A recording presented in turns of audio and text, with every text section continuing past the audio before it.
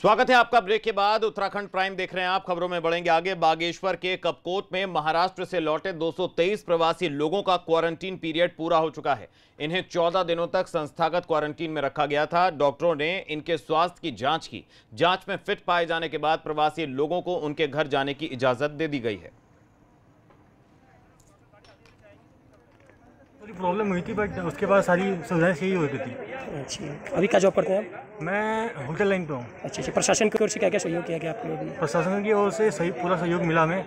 थोड़ा शुरुआत में थोड़ी प्रॉब्लम वहीं उधम सिंह नगर के दौरे पर रहे सांसद अजय भट्ट ने प्रेस कॉन्फ्रेंस कर मोदी सरकार की उपलब्धियाँ गिनाई। अजय भट्ट ने कहा कि केंद्र सरकार के आर्थिक पैकेज से एमएसएमई सेक्टर को काफ़ी फ़ायदा होगा।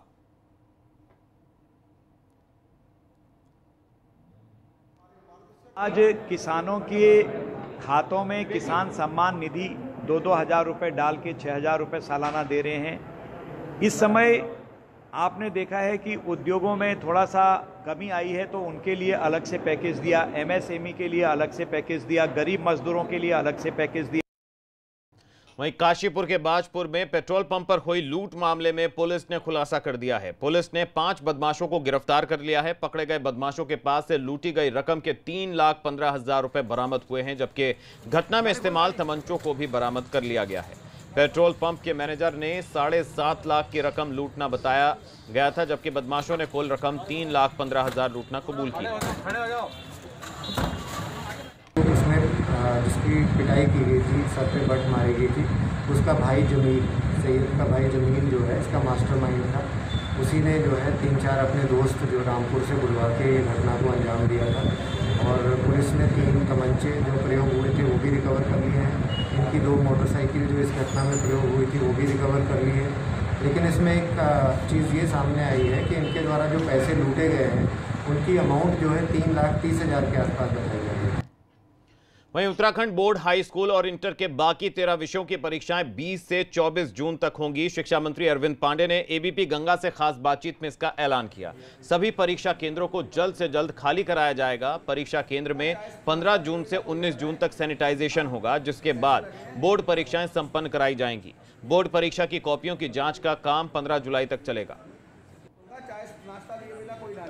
जो हमारे विद्यालय क्वारंटाइन सेंटर बंद थे, वह स्वास्थ्य विभाग के माध्यम से वह, या जिस संस्था के अंदर भी देख रेख चल रहे होंगे, सेंटर चल रहे होंगे, वह पंद्रह जून को हमको हमारे हैंड ओवर कर जाएँगे और पंद्रह जून से लेकर उन्नीस जून के बीच में हम उनको सैनिटाइज करा देंगे और बीस जून से लेकर चौबीस जून तक जितने विद्यालय, शिक्षा में हाई स्कूल इंटर के पेपर हमारे बचे हुए हैं, इस सबका हमने कार्यक्रम घोषित कर वहीं हल्द्वानी में एनएसयूआई कार्यकर्ताओं ने उच्च शिक्षा निदेशालय के बाहर धरना दिया। छात्रों की मांग है कि निजी विश्वविद्यालय में पढ़ने वाले छात्रों को बगैर परीक्षा के प्रमोट किया जाए। साथ ही ये एक सेमेस्टर की फ़ीस भी माफ़ करने की मांग कर रहे हैं। उधर उच्च शिक्षा निदेशक का कहना है कि उनके पास अभी तक कोई भी निर्देश नहीं आए हैं, इसलिए फ़िलहाल यूजीसी की गाइडलाइंस का ही पालन होगा।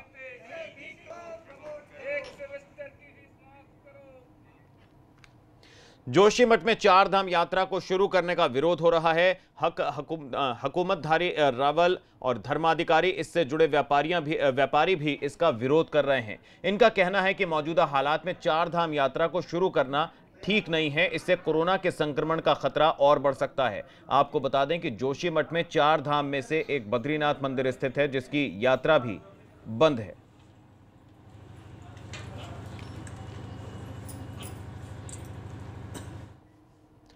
केदारनाथ धाम में आपदा में क्षतिग्रस्त हुए भवनों का निर्माण काम आखिरी चरण में है। धाम में तीर्थ पुरोहितों के 46 भवन बनकर तैयार हो गए हैं। इन भवनों को भूकंप, बर्फबारी और आपदा को ध्यान में रखकर तैयार किया गया है।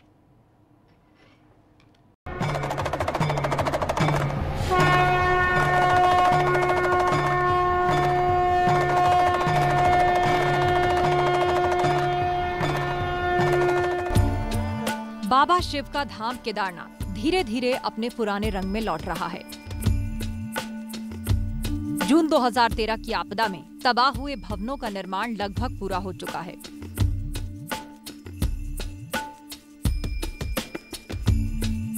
आपदा में तबाह हुए तीर्थ पुरोहितों के 46 भवन बनकर तैयार हैं। इन मकानों को भूकंप, बर्फबारी और भविष्य की चुनौतियों को ध्यान में रखकर तैयार किया गया है।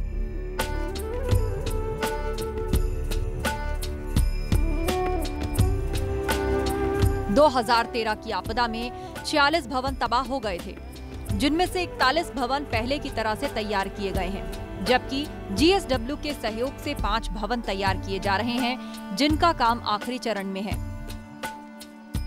टोटल जो जीएसडब्ल्यू ने कहा है, अभी पाँच, फ़िलहाल के लिए पाँच मकान बनाने हैं, जिसमें से दो मकान कंप्लीट हो गए हैं और तीन मकानों पे काम बहुत तेज़ी से चल रहा है। जिन मकानों में वो सारे मकान गढ़वाली शैली में बने हुए हैं।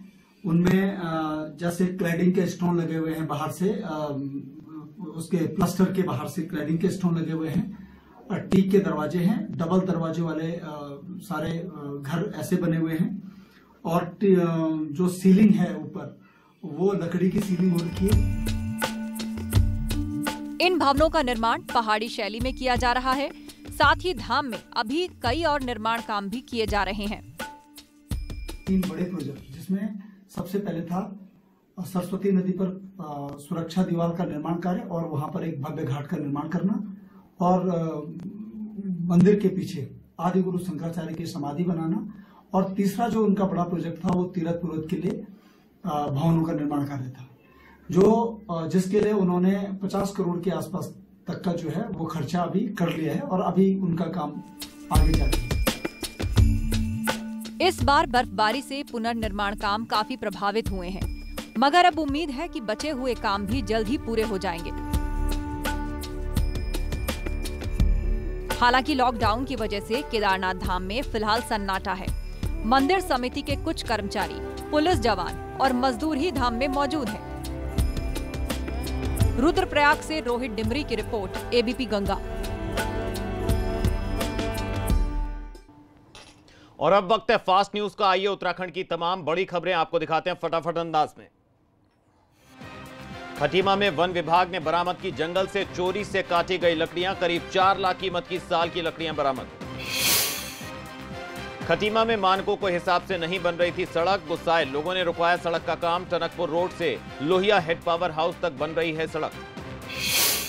जोशीमठ में वन विभाग की टीमों को ग्रामीणों ने रोका। फूलों की घाटी से में जाने की कोशिश कर रही थी टीम। कोरोना के बढ़ते संक्रमण को लेकर ग्रामीण चिंतित।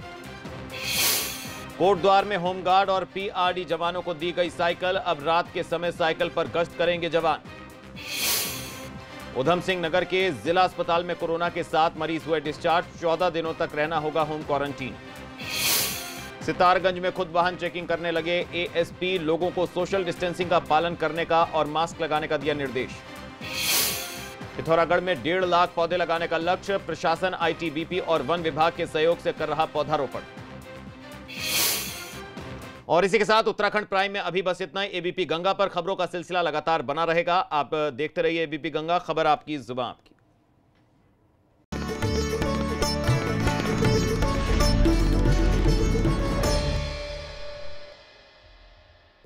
मैं समय। क्या है राशियों का